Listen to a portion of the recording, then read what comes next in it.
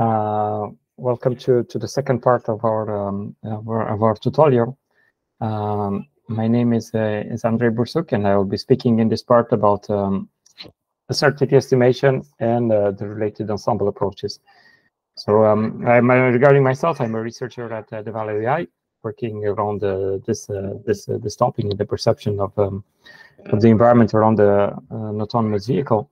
And this part is, is quite critical for for for us the way we designed this uh, this tutorial is that in, in the first part we'll look a bit about broader and more theoretical aspects like uncertainty estimation and um, and uh, in calibration and in the second part uh, we will be looking at ways where these these uh, these uh, tools can come into practice on some uh, some some specific tasks that we we have in, in practical in practical settings namely distribution shift, domain adaptation, and uh, outer distribution uh, detection.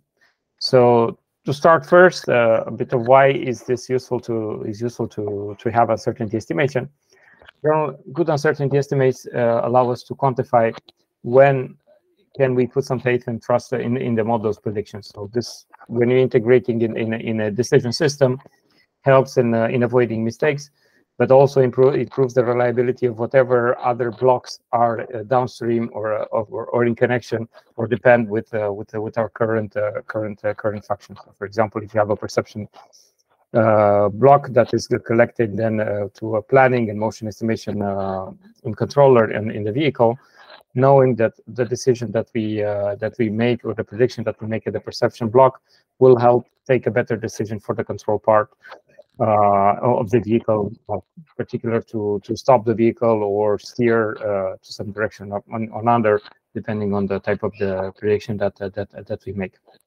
So, to understand a bit the concept of uncertainty estimation, I would propose first to look at uh, analyze a few uh, use cases where we can see that there's different types of uh, types of uncertainty come into play when we when we we we are dealing with with difficult cases. So broadly, I will be looking at two main types of uncertainty today. Uh, each of it uh, has its own uh, peculiarities, um, and I'm putting a disclosure here. So for the, uh, the disclaimer, sorry, for the, the scope of this tutorial, we'll be looking more at classification.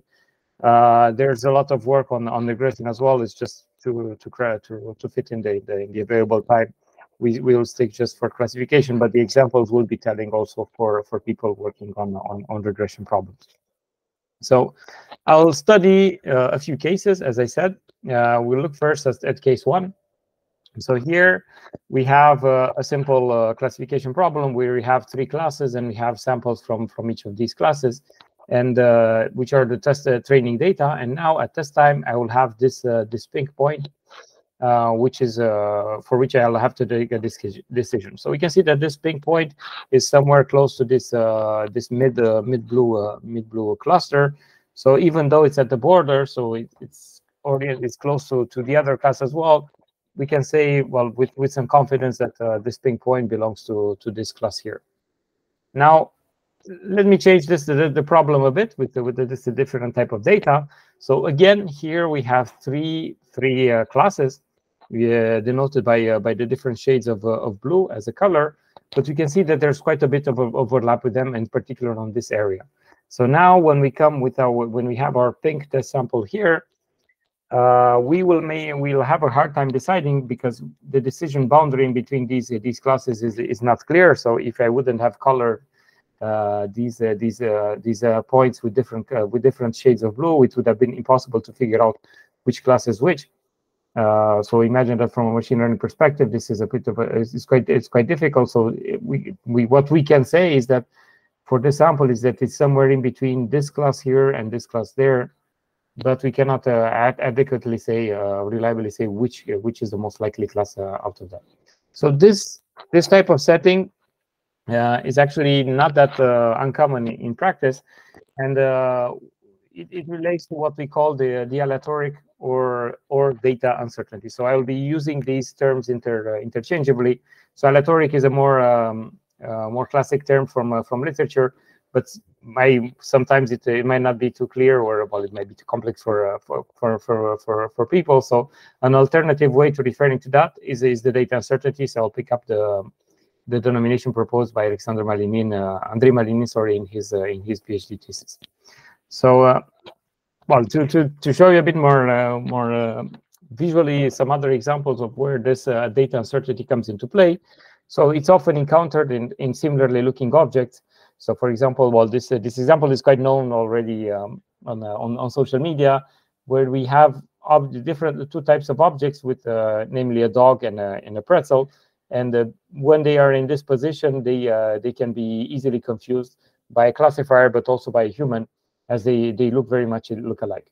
Same here for this uh, this curly dog and these uh, these nuggets.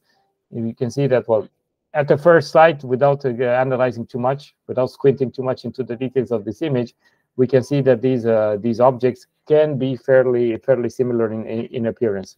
So this this is a specific this is a, common instance of a of a of a data uncertainty. Uh, well, we have here, for example, kind of going in up on the, on the same idea. So many ImageNet uh, trained models. Uh, well, a few years ago, I, I don't think it's the case till uh, still now. When seeing this type of image, it would have classified it as a barbecue or a grill.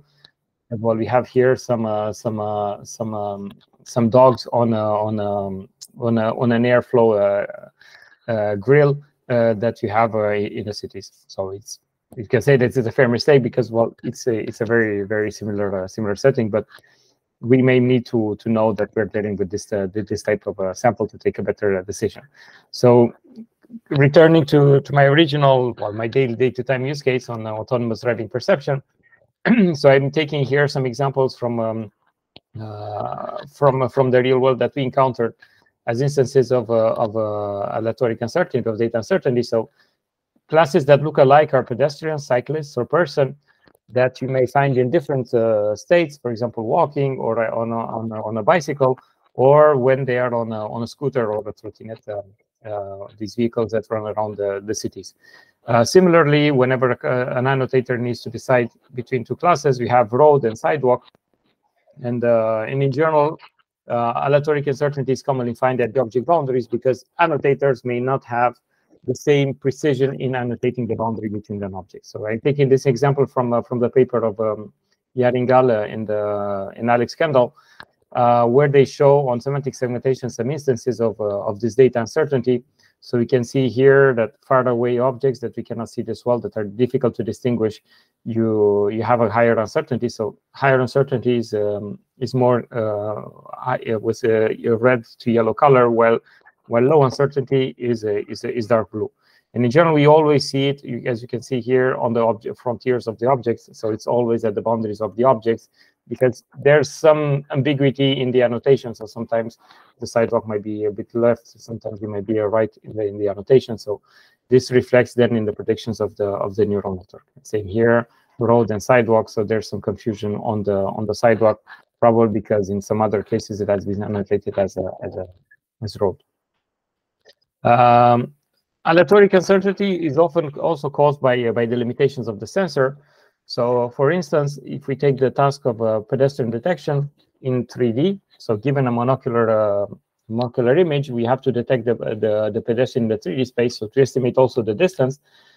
So in general, these types of uh, algorithms, the further the object is from the camera, you can see the, the fewer pixels we have and the less precise we can we can be in this prediction.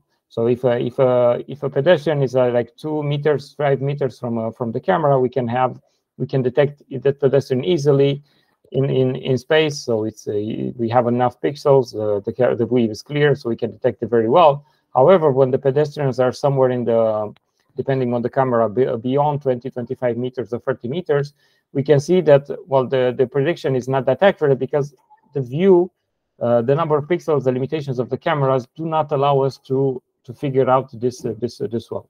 So in this paper, uh, MonoLoco by, uh, by Bertoni et al., they've used this uh, to uh, to fit some uh, some uncertainty in the evaluation process to have some flexibility in the detection of the of the pedestrian. So we can see this pedestrian here, although the ground truth is somewhere there. Uh, the um, uh, the the prediction is is is, is is so the ground truth is here and the prediction is made here in red.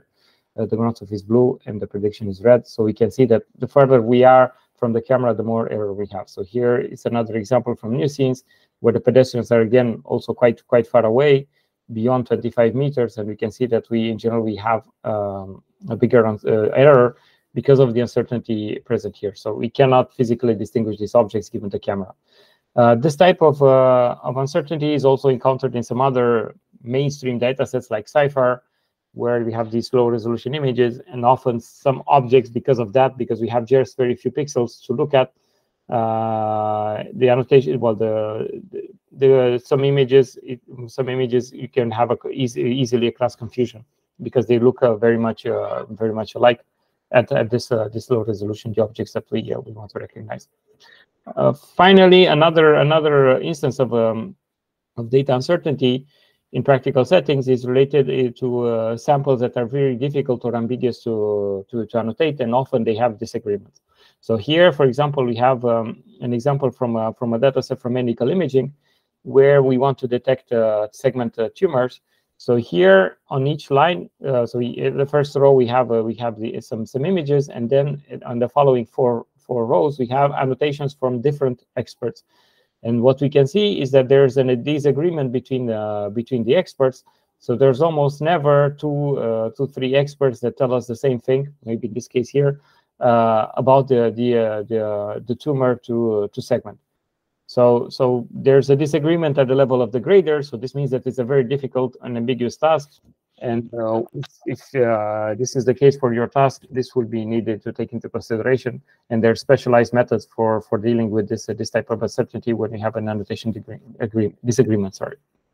So uh, wrapping up on the data uncertainty, so this is a type of uncertainty that we often encounter in practice due to, to the sensor quality, but also to the, its limitation, but also to the natural randomness that we found in the real world.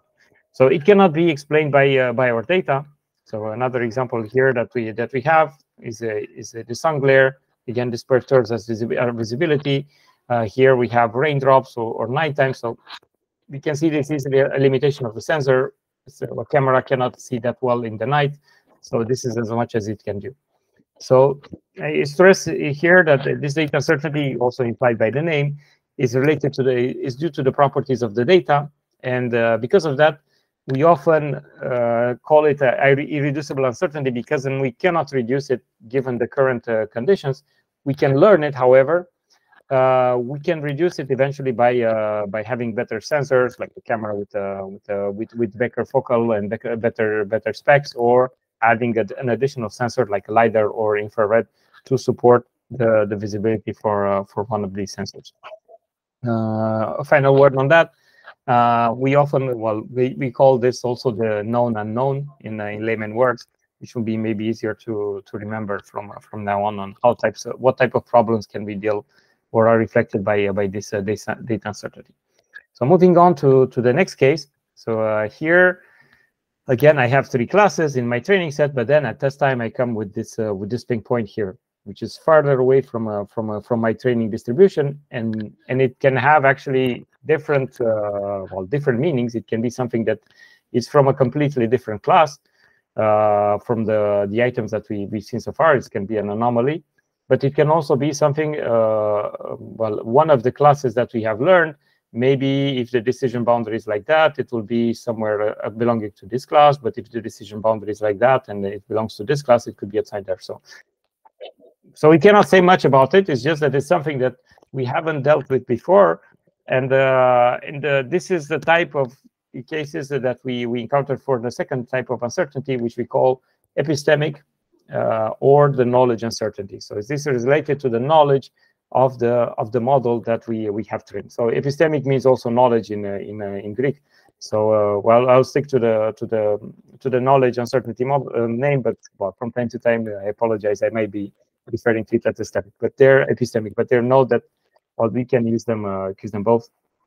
Uh, usually, well, in papers, you you will uh, you know, it will be easy to figure out which type of uncertainty we mean. So, to a few words about the type of uh, of these uh, types of these uh, these samples. I mean, this this type of, of instances of this type of uncertainty. So, to, to illustrate that, I will be showing a bit the, the assumptions that we have usually in, in machine learning of IID in, uh, uh, where we have a, we we have in the independently and identically distributed, where we have a training distribution uh, and the test distribution, which are uh, having following the same distribution, right? So they're, they're, they they come from the different data distribution, uh, both my train and the test data. For OOD, which stands for out of distribution, uh, we have a difference between the training distributions and the test distribution, as I was reflecting in in this in this example here. So as I said, there are different forms of of distribution, or sometimes a distribution shift, as we call it. So depending on the degree of shift that we have between the train, uh, between the test and the train distribution. So some examples will be the covariate shift, where we have uh, the distribution of the input of p of x changes, while the distribution of the labels, uh, so p of y given x, remains constant. So uh, some cases of that will be uh, like moving from one type of weather to another. So my train set is, is ranges on daytime, let's say in, in Europe, uh, but then I have in my test set some images of night. So uh, it's the same types of cities, it's the same uh, well, the same types of people, same types of car. So there's no changes in the labels. However, I have changes in uh, in, in my input because the, the, the visual input does not look the same. So there's a distribution shift there. Uh, another instance of distribution shift is for completely out of distribution objects or sometimes anomalies called anomalies uh, where we have new object classes that appear at test time. So this is completely new objects that we have never seen. Uh, take, for example, a data set again trained in Europe, and then you have uh, you encounter a rickshaw or I don't know an animal from the jungle. So this is something that we are unlikely to have seen at train time, and that you have to deal now at test time. Uh, and finally, we have what we call uh, the label shift, where differently from the covariate shift is the distribution of the labels that changes while the input remains uh, constant. So for example, take uh, a pedestrian detector that was trained, uh, let's say, on the pre-COVID data. So you have a certain distribution of the people, a density on the streets. But then if you want to test your classifier, your detector on, um, let's say, in the period of COVID on the lockdown, where there was very few people on the street. So here we have again the same type of uh, city, so the, the distribution of the input does not change, but the, of the labels changes because we don't have the same amount of people uh, in this on the streets, on the side, on the subway, and so forth. So this is the this is the label uh, label label shift. Um, in terms of what people are, are looking at, so uh, so uh, in real world conditions, just to give you another a few other examples, we have what we call domain shifts. So uh, so I was mentioning day and night, but uh, but actually, yeah, we have we can have actually continuous domain shifts from uh, from daytime to towards night. So we have all the intermediate states that uh, that come in. Noon, well, morning, noon, dawn, pre, after dawn, and in completely dark night. We can have variations in in the weather, so from clear to to rainy, well, cloudy, and well, foggy, and so forth and uh, we can have various uh, uh, domain shifts, for example, urban to village to, to rural, where it's, it's completely like a farm. Uh, here are other examples of rain and so forth. So these are examples from a, from a, from a synthetic data set called shift. But we also have in, in computer vision, now we're increasingly having more and more of these types of data sets. For instance, we have cityscapes that we use as training data set but then we can uh, we can test the, the domain shift on uh, Indian driving data set. So it's a new continent and different types of vehicles, different types of environments, or on different types of weathers, fog, night, uh, uh rain, and snow in the, in the ACDC data set that you can uh, can find referred into these uh, into these references. we can have also in, in, practice we can have object level shift where we have different types of objects that that appear that we have not seen before so we have here uh, quite a few challenges right now. Uh, so here we see small objects in, uh, in German cities that we have not seen at all during training. So here is a tire on the road. Here we have a, a bobby car from a, from a, from a, from a child. It's a toy. Uh, so this is from the lost and found dataset. But then we have some new um, challenges appearing uh, in the past few years. Uh, here we have the segment if you can, where we have unseen objects at training, like, like um, a cow or a horse with a with a carriage, uh, the scooters that I was mentioning just before, sheep, tractors, and finally, uh, well, this is a new challenge that we're proposing from my team, the Bravo uh, challenge, where we have encrusted with uh, with state-of-the-art generative AI models, we have encrusted new objects on, on regular street uh, imageries. In particular, here we show some examples of animals that you may that you are unlikely to encounter or not in, during your training uh, on, on these uh, these cities, but which may uh, may happen to to to be encountered at one point in in time. so it's still related to to to the knowledge uncertainty is this case that I'm outlining here, um, where we have uh, three classes. So this time they're they're relatively easier to separate, but we have a, this class here which is uh, very imbalanced compared to the others. So whenever we have a new test sample here, I may have a hard time to decide is this something uh, uh, that belongs to this class or it rather belongs to these classes here. So so my predict, although my predictions in this realm will be relatively okay for these two classes because they're well represented, I may not be sure what to say about this sample here, in particular if it belongs to this class uh, here, which has very few samples. To give you a more telling example, so here I'm, I'm showing uh, some examples of, of data scarcity. So when you train a pedestrian detector or a pose estimator, you usually have these types of urban images uh, with people uh, in a rather canonical position, although there's quite a bit of diversity in the in the postures that they have. But then when I'm coming with uh, with a data set of climbers, so I want to to analyze um, the posture of these uh, of the pose of these uh, of these climbers, I may have a hard time because this is something that I may not I did not encounter before. So it's people that I know, so I know how to do in general pose estimation and recognize pedestrians from uh, from cars or from some other objects. But in this position, I may not have my uh, data data coverage uh, done uh, for the training distribution done uh, quite uh, that rich to, to identify these types of um, you know, of poses. So wrapping up, so so as you've seen from the examples before, it's this knowledge uncertainty is mostly caused by the lack of knowledge about the process that generated of the data.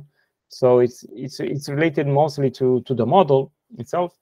Uh, we can actually uh, reduce it with uh, with additional uh, training data to cover all these uh, these unknown classes that we have at test time, but that in a, in a subsequent training we will know about them. So this is why we also call it reducible uncertainty.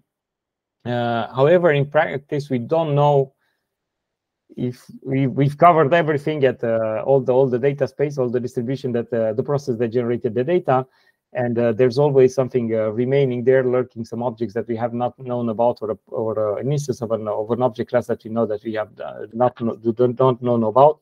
And uh, this is why we call this the unknown unknown. Now knowing which sorts of so now that we are become a bit more familiar with the types of uncertainty that we counter we'll see how this can be uh, can be useful so knowing that which source of uncertainty is dominant can be useful, for example, uh, in active learning and reinforcement learning. So this is uh, the knowledge uncertainty into play because we can know we we know which samples or which space do we uh, do we want to have new annotations in in active learning uh, because while we we identify the areas where we have high knowledge uncertainty or samples, sorry, and in reinforcement learning, it's again it gives us an indication of which space to explore where we have uh, reduced the knowledge uncertainty. It can be also useful for new data acquisition. So here uh, we can decide which type of uh, samples uh, we want we want to, to acquire or types of conditions of weather conditions or, uh, or environments because we have low knowledge uncertainty in these areas. This is interrelated with active learning, is that in active learning we already have the samples that we want to annotate, where in new data acquisition we're looking for new data to acquire and then to apply active learning on it. Um, it can be useful also to decide uh, to a certain fallback uh, to fall back to a certain complementary sensor. So, for example, uh, this is a case where data uncertainty. So, for example, if if there's an, it's night and we cannot see too well, we can fall back to to lidar or radar, or we can uh, decide of an action downstream, like increasing the beam intensity of the headlamp, so to have like the high beam illuminating further because we don't see uh, too well from, with the camera at a certain distance in the night.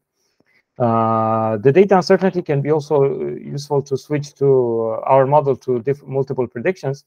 So as we remember the case from the medical imaging where you have different experts uh, different, different, giving different annotations, uh, it might be uh, easier to, to switch to these types of models when you see that there's some type, some ambiguity in, in the data that we have. Or it can be useful to zoom in on tricky image areas. So if your model because of computational constraints, resizes the input image to, to smaller images for faster processing, but then you identify an area where it has high data uncertainty, you can actually zoom in and have another sample to to take a decision there. Well, if space allow, if uh, if computational constraints allow it on the car, or uh, or in practice if your uh, if your uh, model is running on a server. Uh, if we know the overall uncertainty, so the data plus the knowledge uncertainty, we can uh, we can figure out when is our model failing so we can uh, we can take a decision on that and say okay i'm not sure well because of this and of that my model is failing now, so I cannot put any confidence on on on it. Uh, so I have a caveat here uh, to illustrate. So while everything is nice and clean the way the way I described it so far in terms of separation of the, of the types of uncertainty, but beware that while often these uh, these sources are idealized, in practice, in real data, we have both types of uncertainties that are intermingled. So we can grasp them to, to some extent, but they're often quite intermingled and uh, and they're accumulating in the total uncertainty.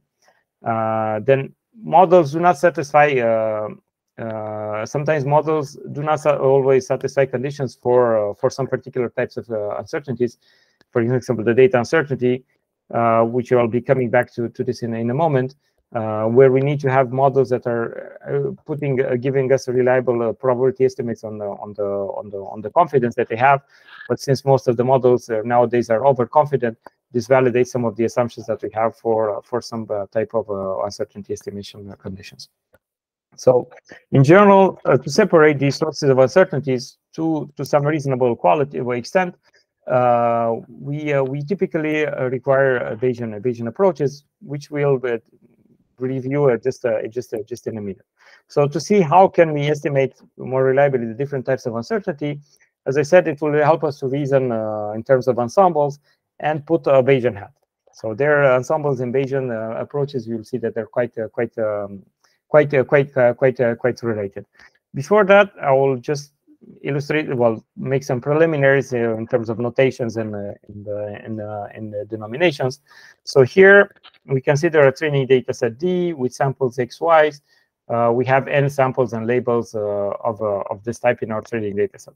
So when we train a, a, model, be it a neural network or a classifier, a simple classifier. So most models fit a single set of parameters to maximize the probability uh, uh, on the on the condition of the data. So here, theta are the parameters of my uh, my model, my neural network, and what we usually uh, in the optimum that we identify is usually the maximum of the of the probability of the parameters condition of the data. So this is the posterior uh, maximizing the the posterior probability to to fit this uh, this uh, this the model on the, on this data. So in general, we the way we we write it, and it's more typical to to to have it like that. Uh, it's essentially in this form where we uh, we do the maximum a posteriori estimation. And if you look at it, I will not dive uh, too much in, into the details. This is actually you will find here the the minimization of the cross entropy loss plus an L2 regular an L regularization because here we have the prior from the from the uh, from uh, on, on our parameters. So when we look at the probabilistic approach, what we actually do, we estimate the full distribution of our uh, of our parameters theta. So we we have from which we can sample. So we have identified the distribution of the parameters uh, from which our network can can sample and take and take uh, take uh, take take parameters to to do the prediction. so this is the general the Bayesian and the probabilistic approach. But in the ensembling approach, what we actually do is uh, we have a single set of parameters for each training run. So we have uh, the optimum parameter theta star from one training. We use that. This is our final checkpoint. This is what we use. Uh, then if we want another set of the, another another checkpoint, we do another training run with uh, different random seeds, different initialization, different augmentations, and so forth. And we collect a few uh, set of parameters like that to generate our ensemble. So we have multiple networks that uh, that are predicting on, on, on the same data. So some uh, preliminaries on, on ensembles, though I've started a bit in the in the in the in the previous slide. So we view in general our network as a probabilistic model uh, that takes a declassification decision uh, for our uh, labels to, be of a certain class. Uh, for example, to be of a certain class, given it a, a, data sample, a text data sample at the input, and the parameters of the network. In general, if I take the the Bayes uh, the Bayes formula, uh, the model posterior P of theta given the data uh, captures uncertainty in the parameters theta. And uh, during training, we we computed using a using a, a variable, an instance of the of the Bayes theorem that I've shown just before. uh, where we can express the, the posterior probability of the, the, model posterior as, as the likelihood times uh, the, the prior. And, uh, if we come back to this formula here, where we apply a log and we do a sum, we can we can find the, the cross entropy plus uh, the regularization term of the prior uh, in, uh, in, our, in our expression. And here we have the evidence, but usually well, we don't we kind of we kind of put this under the carpet under the rug uh, often uh, the the evidence on on the data distribution. Uh, from from theta, we can actually now that we have found the distribution of our parameters, we can actually sample an ensemble of models. So I take a different theta m's that are sampled from this distribution of, uh, of parameters, and I have now actually several models, several neural networks, each with a parameter theta theta theta m. So I have m models right now that I've, I've sampled. Uh, to do the prediction, now that I have this uh, several these several models and predictions, we, we usually ba use Bayesian inference. So this means that uh, the probability of my uh, the final probability of my uh, my decision, again, if I view it as a probabilistic model, is the expectance on all the the predictions that my model my model made. But well, what we do in practice, we do Monte Carlo sampling. So we take m if we use our M uh, M networks, an ensemble of M M networks, and we average their their their their predictions, uh, and this is our final uh, final prediction. Um, now, how do we use that to, to compute the the total uncertainty and then the remaining types of uncertainties that we we've discussed before? So the total uncertainty is the combination of the data uncertainty and the knowledge uncertainty. So the total uncertainty can be computed from the entropy of the predictive posterior. So here H is the entropy. This is my predictive posterior that I've described before. And uh, if we come back to the formula from before, this is how we compute it. We have the entropy of the expectation uh, over the of the predictive posterior, and in practice is actually the entropy of the average predictions from uh, the average of the predictions from the from the from the from my my ensemble. Now, when we go to the data uncertainty, so under certain conditions and assumptions, meaning that my model has sufficient capacity to fit the data, but in such a way that it does not overfit it. So we have sufficient training iterations and, and training data.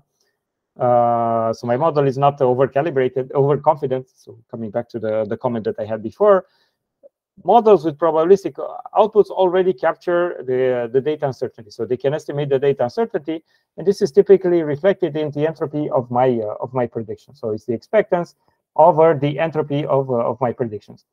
Uh, so in general, the expected the data uncertainty can be computed just from one sample. We don't need to have many uh, many not, not, always to have many uh, many samples of your sorry of your model Right? When I say samples, samples of a model, I apologize for the misnomer. Uh, so, so I can actually do the average of the entropies of my prediction. So here I have a, an ensemble of uh, M models. Uh, the data expected data uncertainty is the average of the entropies of the individual models, where my models are either sampled from a distribution or they are uh, the checkpoints from uh, from for my ensemble ensemble model. So so this is a bit different because it looks quite similar with what we had before, where we have the expected, uh, here we have the expected data uncertainty, which is the entropy of the of the predictions, while in the in the in the, in the total uncertainty, we have the entropy of the predictive posterior. So this is the entropy of the average predictions that we that uh, what the expectation over the, the posterior. So this is a bit of a different nuance, and it will be clear in a few minutes uh, with uh, with uh, on, on some examples. So now knowing now that we have the, the total uncertainty and the data uncertainty, we can obtain some measure of the knowledge um, of the knowledge uncertainty. And when we write it like that, so the knowledge uncertainty uh, is uh, here the total uncertainty minus the data uncertainty. So we can see that we find the formula for uh, for the mutual information that I write here my. So uh, so here I have the mutual uh, informations me measures, uh, um, well, to some extent, the, the knowledge uncertainty.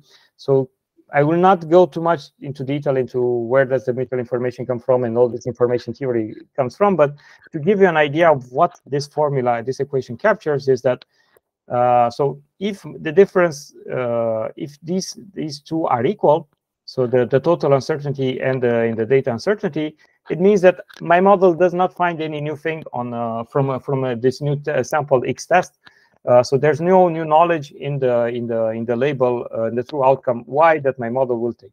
However, if there's a difference there, uh, this difference will capture the the amount of information about the model parameters that we would gain by uh, by uh, having the knowledge of this um, of the outcome of this uh, of this of this sample. and if you thinking in, in in this in this way, and I'll come to that in in um, in the in the following slides. So mutual information is essentially a measure of the diversity of the ensemble. So if my ensemble is diverse and has quite a bit of knowledge in, injected into it, uh, this will be captured in my uh, in my um, in my mutual uh, in my mutual information. So yeah, if I don't have much new information uh, to to add, this will be uh, this will be uh, this will be zero. However, if there's new information uh, to be added, this will be reflected in my in my in my um, in my uh, in the difference between the total uncertainty and the in the data uncertainty. So this will come forward again and again in the in the ensemble literature. The focus on having ensembles uh, with, with, with, with, with high diversity. So diversity is not just a desiderata per se, okay, we want to have nice ensembles, so it's not just uh, an artificial request. It's something uh, that is quite necessary, in particular when we deal with, with unknown samples. So of course, uh, having diverse ensembles, it does not mean that they always have to disagree. So we want them to agree in the, on the easy sample. So they, they want to they need to be precise to have um, to make good predictions. However, the diversity we need it in cases like that, where we can see that well, we given this weird uh, this weird looking objects, if you have different points of view. Uh, so here we see uh, well, this is 3D objects, and we do 2D projections with the light on on different um, on different orthogonal planes. So we can see that each plane sees a different a different shape. So this is what we also want to obtain with uh, with diverse ensembles, having a different point of view on a relatively on a on an on unknown sample. And if these ensembles, these these members disagree, it means that it's something that we have not seen. So uh, we need to pay some particular attention to it. Uh, to explain uh, the different uh, difference between data uncertainty and data uncertainty, I'll, I'll use this this nice plot from from Andrei Malinin's um, PhD where he shows these ensemble predictions on a simplex. On a simplex, we have this triangle where we have here each corner represents a, a class. Uh, we have here uh, the probabilities of, of belonging to, to, to, each of the three classes. Uh, and each point here represent the predictions from one ensemble member. So in this case here, we have low uncertainty. It's clear that most of the ensemble method, um, uh, ensembles predict that there we have here uh, our, uh, our class. So this is a relatively low uncertainty uh, prediction. We have with high confidence that this is the likely class in my uh, in, in, in my input.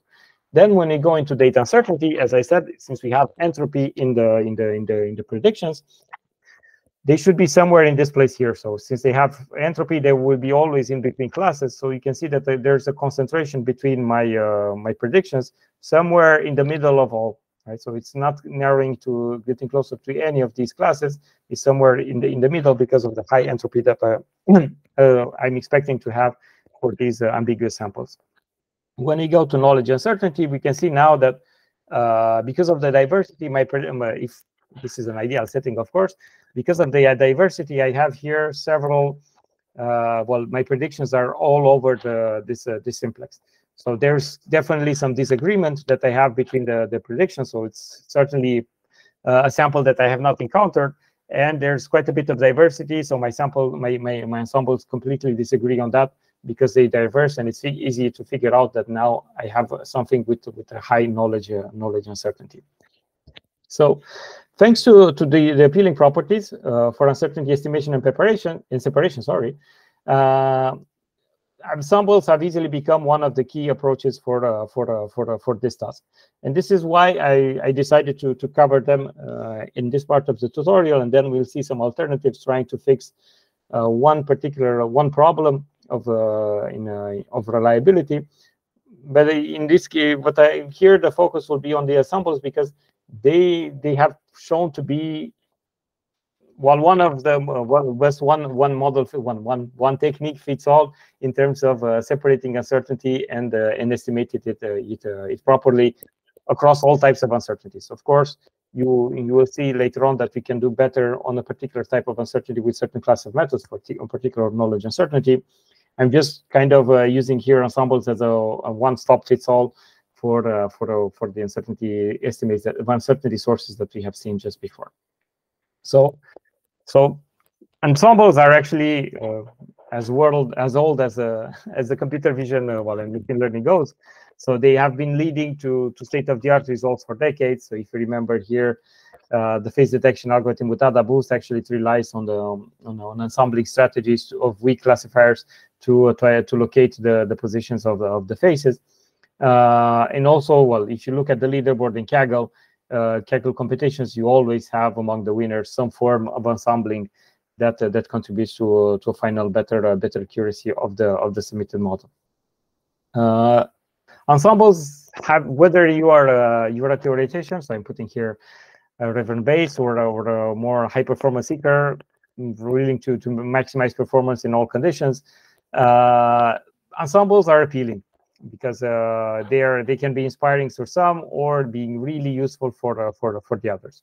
Now, just a, a word of well of the disclaimer. So, depending on the community community that you are in, one of one of these methods is frequently regarded as a special case for uh, for the other, usually with different assumptions, but and there well they used to argue they are used for arguing uh, one type of uh, one type of argument and in theory but mind that these uh, Bayesian approaches as ensembles usually have different mindset, and uh, well, they can inspire each other, but they're relatively, uh, relatively, uh, relatively different. So I will first start with uh, with Bayesian neural networks. I'll um, I'll not spend too much time on that. It's just to, to refer to to them because they have shown to be a source of inspiration for for many methods afterwards. So what is a Bayesian neural network? Uh, it's easiest is to uh, to compare a Bayesian neural network in comparison with uh, well in relation with uh, with a standard neural network. So here I have a standard neural network where the parameters are represented by single fixed values, which are marked here in purple. Uh, what we that we call point estimates. So I'm just doing a forward. I have my my networks after training is fixed. Uh, I select the the final checkpoint and and that's it. In a Bayesian neural network, usually the parameters are are are, are represented by uh, by uh, actually by uh, so there's an error here. I'll I'll fix it in the in the final uploaded PDF.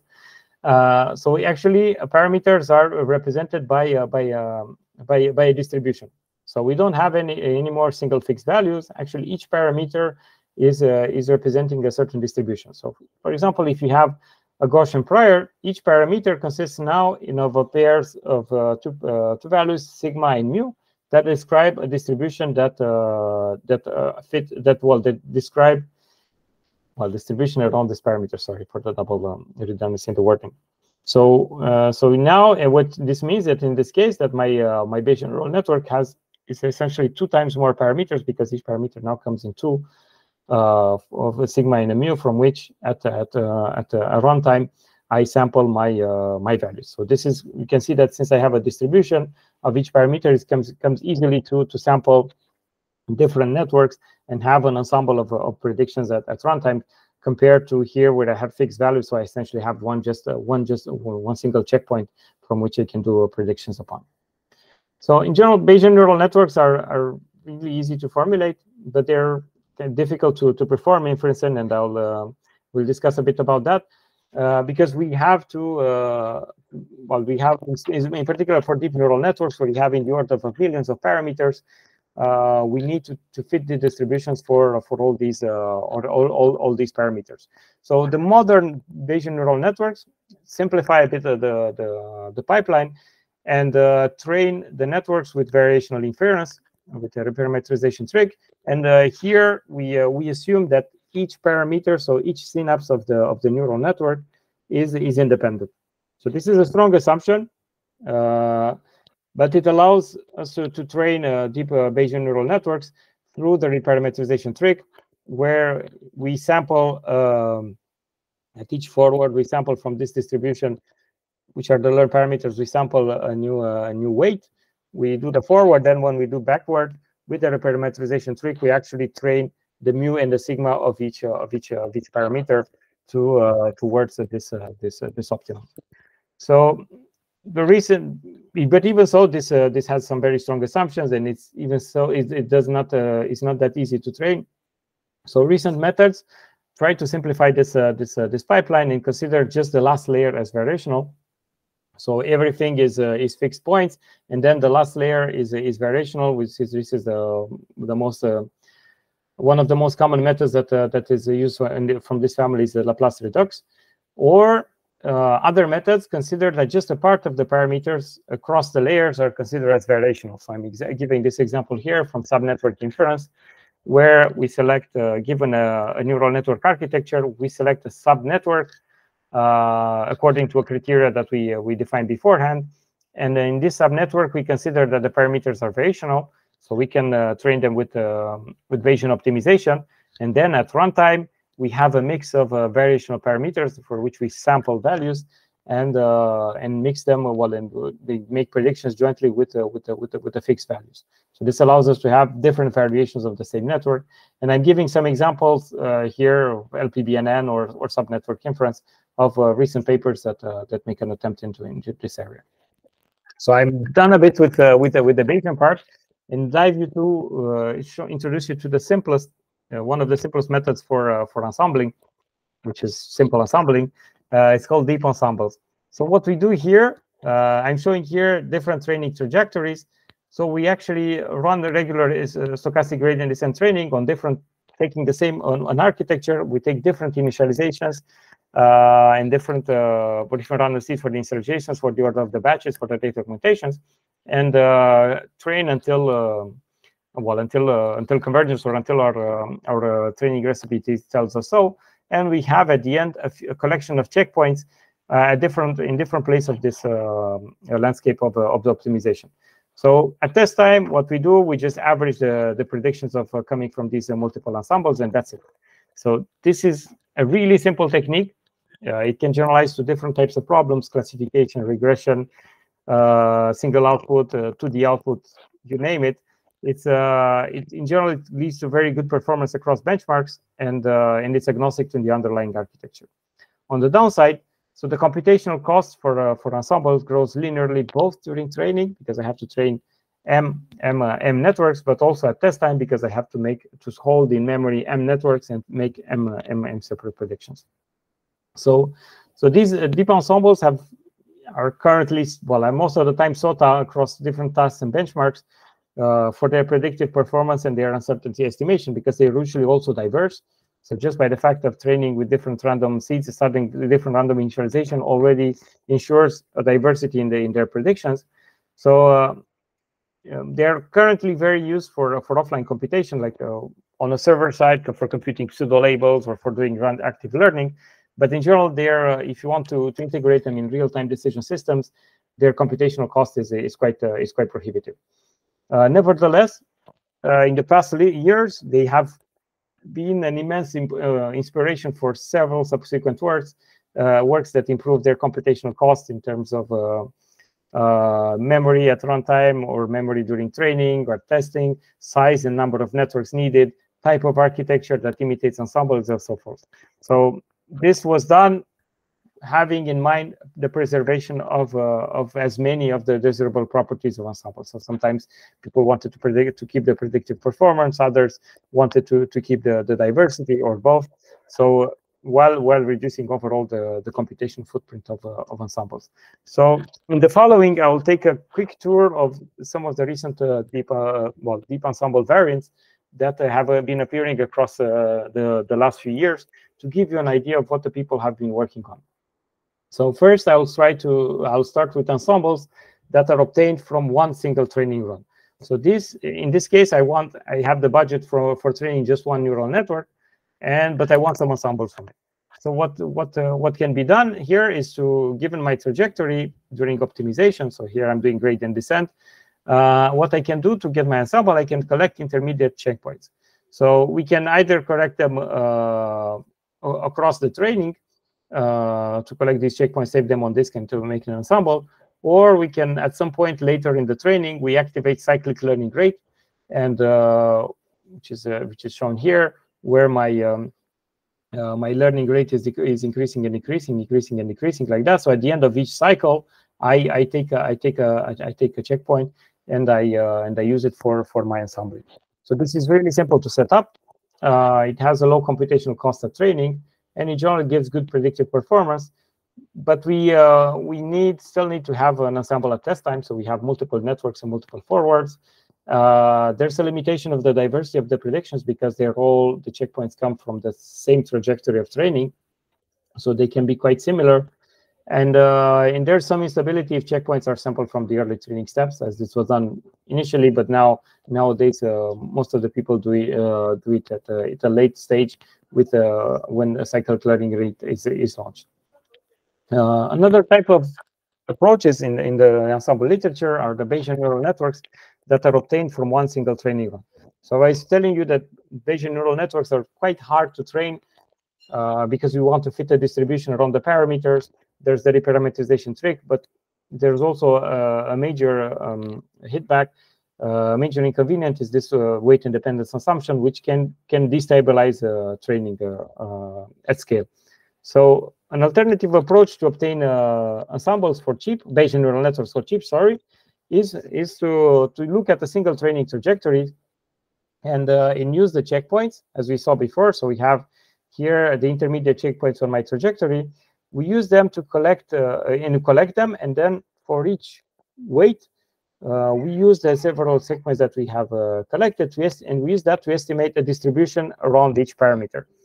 So, uh, so as we have find, and this transforms our uh, our initial network uh, well sequence of checkpoints into a Bayesian neural network because now I have a distribution around my um, around each uh, each parameter. So this method is called SWAG from stochastic weight averaging uh, Gaussian. It's, it's one. It's a very powerful technique for getting uh, Bayesian neural networks for for cheap. So this is relatively simple to set up. It gives good performance and it, it's faster training because we just again have just one uh, one uh, one uh, one training uh, process and and, and we hold just one one essentially we just hold one network on the disk but uh, well at runtime we can sample from this distribution and have these uh, multiple different forwards. And the drawback for this is that well even though it's a single a single training process we need several checkpoints to explore such that we have some diversity for for fitting our distribution. Uh, well, we're still assembled at, at, at, at, test time because we have multiple forwards.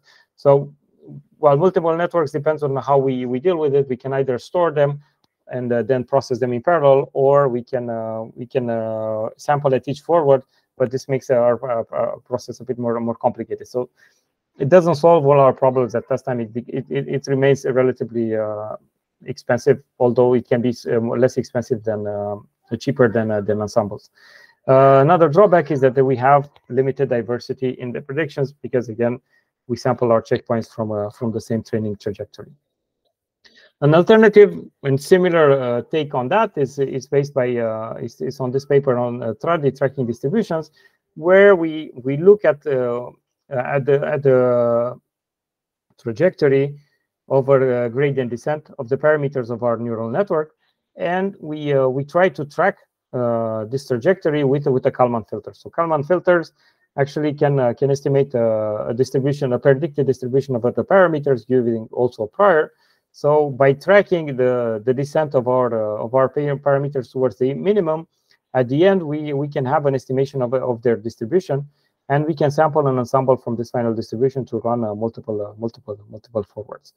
So the the cons are very similar with SWAG. So we have good well, um, well we have we still have an ensemble at test time and we have limited diversity in the predictions however on the upside we just have one training uh, process without cyclic learning rate so it's it's even shorter than uh, than before.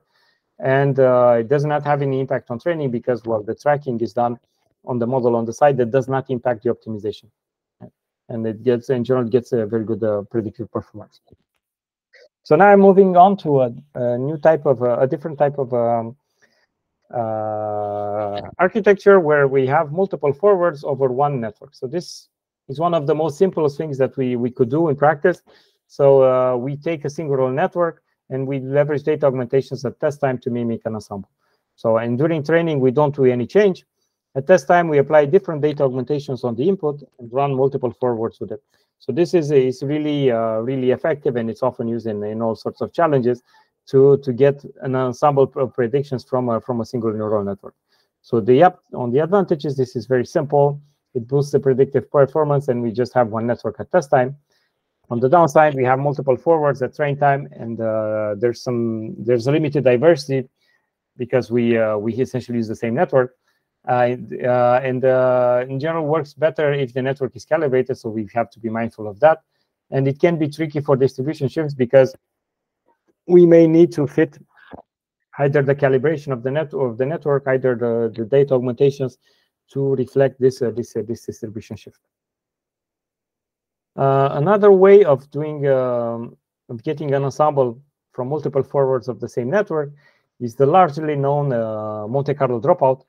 Uh, so I'll, I'll not go to, into too much details for it, but for those that are not familiar, so in in, a, in dropout, uh, dropout is a regularization technique where at train time we apply uh, we we mask out neurons uh, we put them uh, their output essentially to zero such that we'll have different uh, other neurons cooperating and uh, and taking a decision. So commonly in dropout, we apply uh, the, the dropout dropping out neurons at train time, and at test time we we keep them on. But what we do in Monte Carlo dropout, we keep the dropout activated also at test time, and we forward with different dropout masks. So this will be like different sub networks that that take a decision uh, on a, on on a given a given sample. So this again is very simple to train. It gives good predictive performance, and we just have one network to store. Uh, on the cons, um, we still need to do multiple forwards, and there's some limited diversity in the in the predictions. And while this is more inconvenience of uh, dropout layers, is that we don't have yet a very good way of using uh, dropout on convolutional layers. And since most of the networks can be convolutional uh, well, in the ResNet era, uh, you have very few places where you can uh, can apply uh, can apply the dropout. Of course, in the era of vision transformers, this uh, this part is uh, is will be revisited, and maybe we'll see more and more of MC dropout coming back into uncertainty, cheap uncertainty estimation in uh, in neural networks. variant of, of dropout is Masksembles, where the the principle is similar. It's just that unlike dropout, where we were um, randomized doing random masks each time, uh, for the dropout. Here we uh, we have a set of fixed masks uh, that we we activate each time, and then a test we forward over over each mask. So it's a more guided, let's say, guided dropout with a control a set of uh, of, uh, of masks that we uh, we use at, at runtime. So this again is kind of in the same spirit as dropout. It's simple to train. It gets give it a good performance. We have one network at test time. We may need actually the problem is that we may need two training iterations. One to train the full network and then and estimate the masks to have the most promising masks, uh, like in the lottery ticket um, uh, hypothesis, and then train again with with these masks. So this might be double the train time. Uh, we still, uh, and, uh, among the cons, we still need multiple forms of train time, and we have some uh, some limited diversity in the, in the, in the predictions. So I will be moving now to one one final set of methods, which are ensemble-like architectures with one single forward. So before we've seen different ways that uh, strategies that were focusing more on the parameters, on the learning, on finding something that imitates ensembles in terms of the, um, the parameters of the distribution or in the number of, of outputs.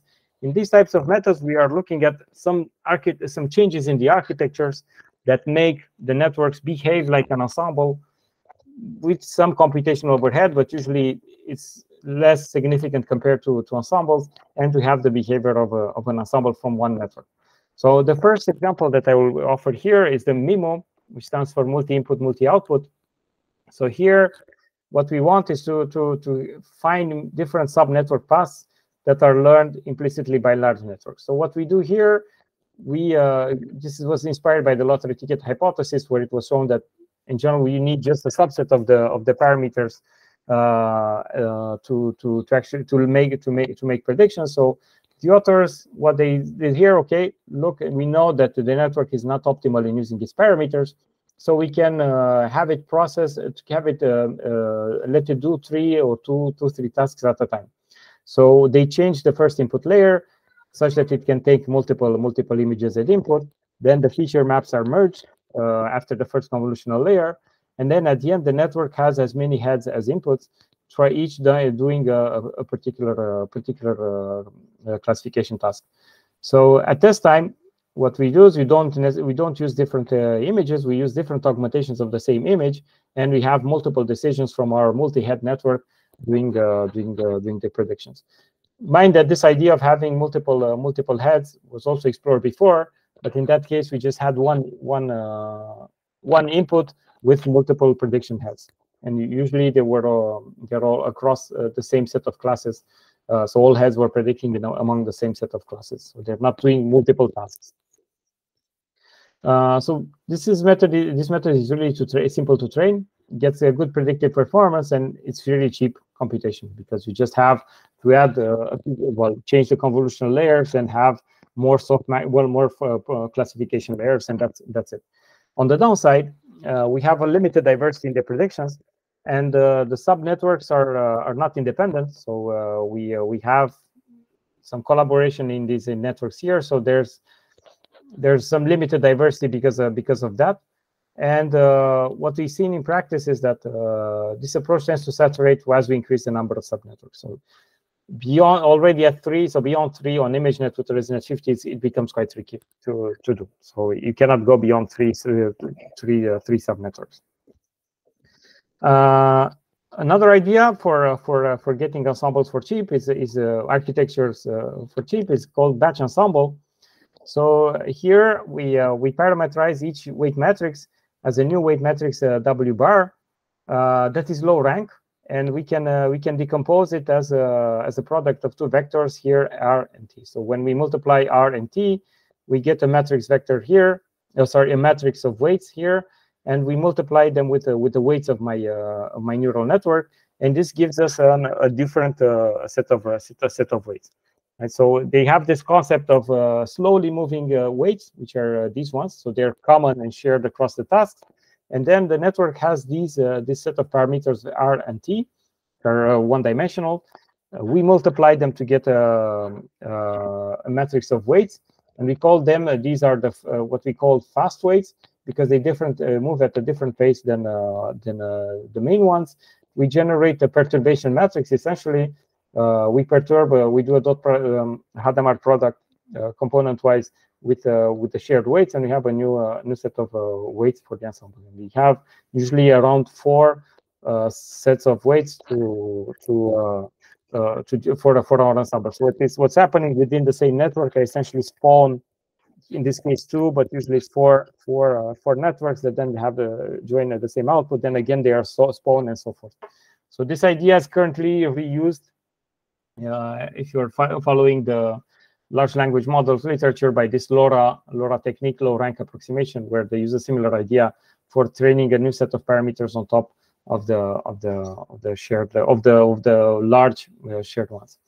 So here at train time and at test time, we just have a single forward. This is has an excellent trade computational trade-off as a method and gives good predictive performance. But again, we have some limited diversity in the predictions. And the subnetworks, these ones are not always independent because eventually they learn to collaborate because they see the same samples uh, uh, together. Uh, so the final method that I will describe here is, uh, is one of the most recent ones. It's called uh, packed ensembles. So here, uh, as I was showing, we want the we want to to get the the benefits of an ensemble, but using a single single network architecture or, or the budget of a single network architecture and preserve its uh, its uh, its um, its diversity. So the authors argue that to have uh, diversity in the weights, the networks need to be trained independently. So we still need to have multiple networks, but the gist here is that uh, the networks are uh, enveloped in the under the, the, the budget of a single network uh, network architecture. So I'm showing here the regular single network, deep ensembles with with several networks, in here, in packed ensembles, they're all under the same network, which is a bit wider than the standard network to fit in these uh, these small uh, these small uh, small networks. And I'm showing here what's it about. So the authors here make use of um, of uh, depth-wise convolutions or separated convolutions to separate feature maps in the network, right? So here we have uh, convolutions from one uh, from one filter, then convolution from one, the other filter. So with these uh, uh, group convolutions, we can separate different sub-networks in the in the in the network.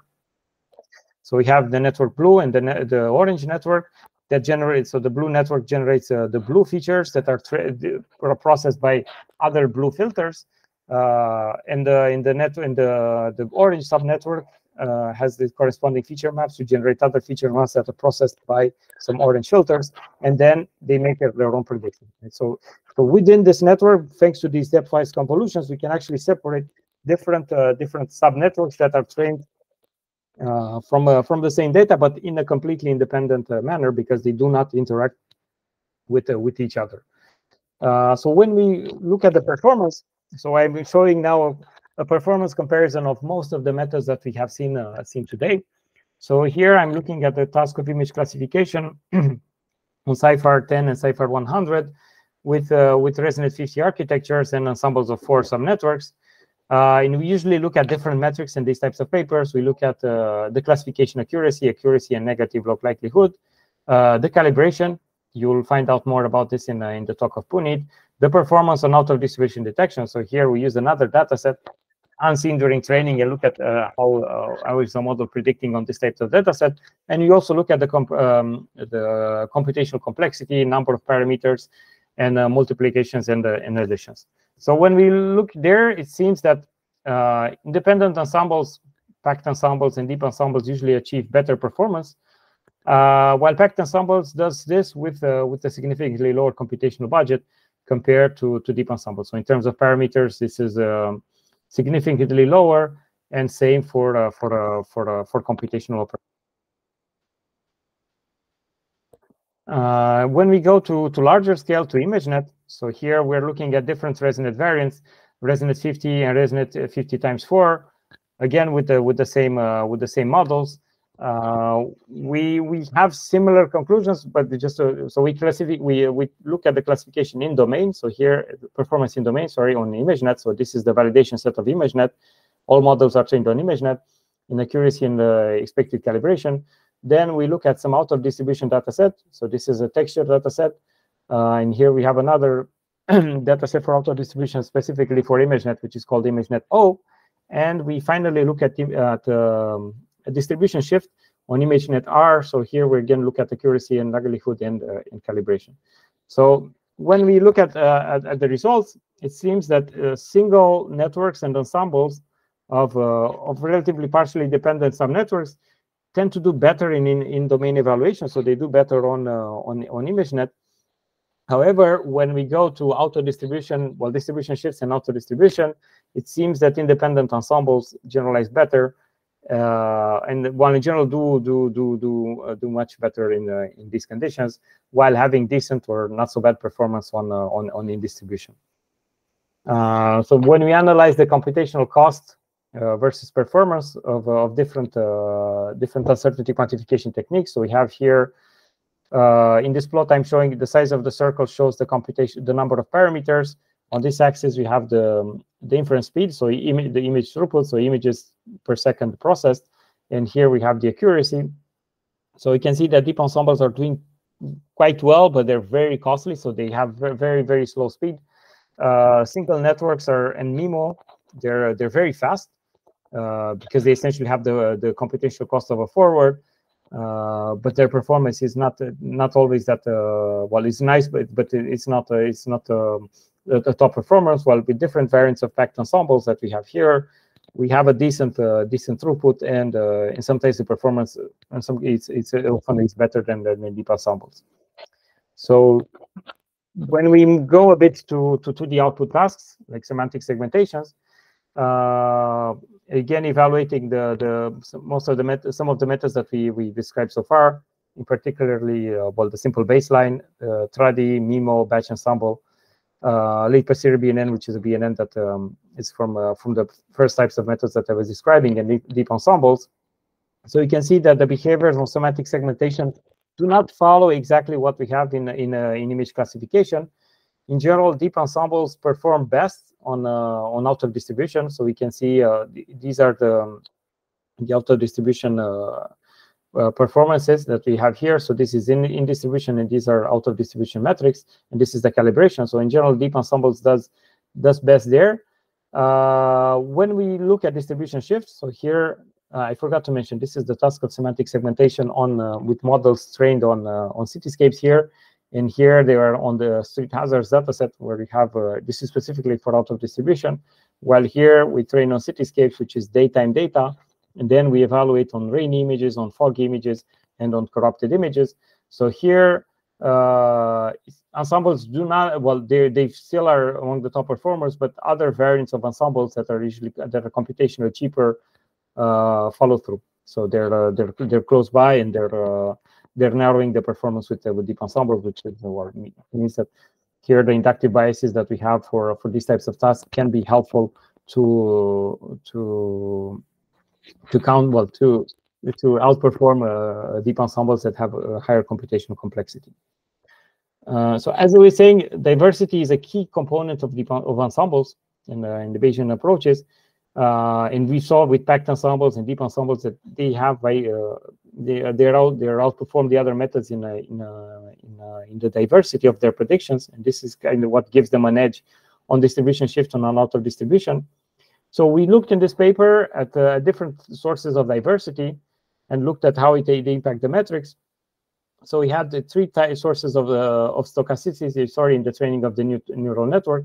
So NDE corresponds to non-deterministic backpropagation algorithm. So here, if you have the apex, for example, in PyTorch, that uh, that scales the gradients and well does the um, the precision of your uh, of your uh, of your uh, of your parameters, uh, whether we don't use it or use it uh, different initialization. So different, this is different uh, random seeds, different for the initialization of the weights, and DB is different composition of the batches. So when we have none of that, so we train a network, uh, several networks in parallel with uh, without the stochastic uh, diver with the stochastic non-deterministic backpropagation uh, backpropagation, without different initialization and without different batches. Well, there's no diversity. We have good performance, but no diversity essentially here. Mutual information on in distribution and auto distribution. However, already by adding the non-deterministic uh, propagation, we can see that already we, we have inserted quite a bit of diversity in both in distribution and out of distribution. Then as we gradually add the other sources of diversity, the scores improves further, but we are already in a good starting point with uh, just by using these um, these uh, these uh, non-deterministic uh, backpropagation. And in the case of deep packed ensembles, these things uh, goes really well because uh, we cannot we do not necessarily have different composition of the batches because for the networks we have the same uh, the same um, the same batches uh, but we do have different initialization and this is enough to to give us an edge on top of deep ensembles uh, I will conclude with uh, with a few recent trends uh, from from from the literature in the context of of foundational models. in one of the dominant trends that I've seen so far is the use of weight averaging. So weight averaging is, is a method well that goes back to 2018 from um, from Izmailov et al., uh, where in the same idea of using a cyclic learning rate to collect different checkpoints, uh, differently from uh, from SWAG, in uh, where we were fitting a distribution uh, on top of weights from the checkpoints. Here we're just uh, averaging all the checkpoints. So we do a pair weight averaging across the checkpoints, and this gives us the theta WA which is our final network. So now we have just one single network have uh, obtained by averaging all the intermediate checkpoints of my of my network. And at this time, I have just one single forward. The intuition here is that with uh, with these different checkpoints, I I have explored my uh, my optimization space around the around the well the global minimum or the nice minimum that I want to touch. And by averaging all these checkpoints that are exploring different parts of the space, I'm widening this plat, plat this uh, this part of the optimization space by uh, by putting my network in a more stable minimum that is flatter and that can generalize uh, generalize better. So this idea has been revisited and pushed forward in the context of uh, of model soups, uh, in where we start from foundation models that are very difficult to train. So we have your CLIP model or or large VIT that you know that takes so long to train. So you don't want to restart from scratch. So you start from this checkpoint, and then this is a, already a, a, a well-placed checkpoint close to the minimum for a given task. And what we do afterwards, we we start fine tuning this checkpoint uh, with different hyperparameters, and we get a set of uh, of, uh, of other check fine tune checkpoints for our task of interest. So once we have obtained these uh, these checkpoints, we again we average them and we obtain our uh, our uh, our uh, our final network, which is just one single network without so much complications of training. So there is of course a requirement for that to to be work to to work. So the the weights should remain linearly connected. So this means that okay we need to start we, we cannot start from scratch we need to start from a common basis which is of parameters which is this uh, theta pre-train from our foundational model uh, so the performance here is really nice. So it's a simple method. Uh, we get per boost of performance on distribution shift. Uh, the the downside for these types of methods is that currently uh, they all tend to lose in calibration for some reason. Uh, so this is one of the well, maybe an research avenue for for for some of you to to explore the improvements of losses in calibration that we have in in this in these models. so I just, without going too much into detail, because it's out, outside the scope of this tutorial, I just want to highlight uh, the work of Alexandre Ramé in this area, who's been looking at different ways of achieving model soups.